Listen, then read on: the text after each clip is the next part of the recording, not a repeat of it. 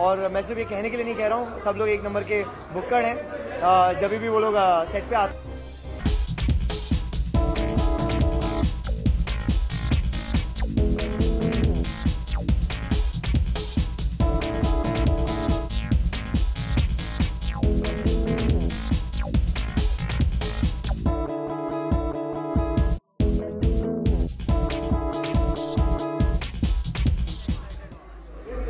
देखिए नॉर्मली बॉलीवुड में एक नया ट्रेंड चला है। सौ करोड़ का क्लब 200 करोड़ का क्लब 300 करोड़ का क्लब और ये सारे क्लब जो होते हैं टेलीविज़न में सिर्फ़ एक क्लब होता है थाउज़ेंड एपिसोड्स के आगे। एक ये चरण सीमा है जो पार करने के बाद अ, जो शो है एक एक्स्ट्रॉर्डनरी लीग में पहुँच जाता है।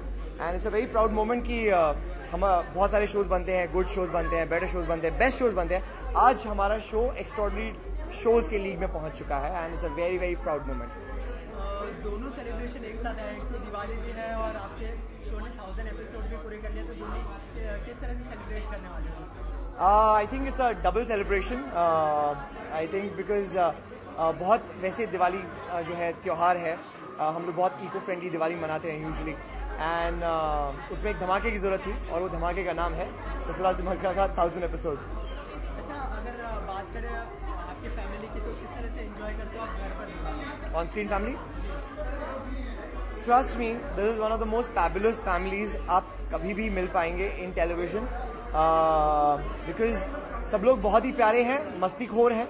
और मैं सिर्फ़ ये कहने के लिए नहीं कह रहा हूँ सब लोग एक नंबर के बुक्कड़ हैं। जब भी वो लोग सेट पे आते हैं तो मेरे ख्याल से ऐसा लगता है कि शूटिंग के लिए कम खाने के लिए ज़्यादा आए हैं। दिन भर खाते रहते हैं पीते रहते हैं और एक दूसरे की खिंचाई करते रहते हैं मस्ती करते रहते हैं। लेकिन एक चीज़ बहुत इंपॉर्टेंट है वो सबसे एक दूसरे से बहुत प्यार करते हैं and they stay like a family so it's it's it's like a bliss to be a part of this family अच्छा दिवाली की बात करें तो स्वीट्स भी काफ़ी मायने रखता है दिवाली में तो आपको कौन सा स्वीट सबसे ज़्यादा पसंद है? यार ये तो एकदम वो हो गया कि हलवाई को अपनी स्वीट कौन सी बेटर लगती है या अपने को अपनी आँखों में से दोनों में से कौन सी आँख बेटर लगती है? I I have a sweet tooth I am a foodie तो मैं किसी खाने के साथ या किसी मिठाई के साथ डिस्क्रिमिनेशन नहीं करना चाहूँगा।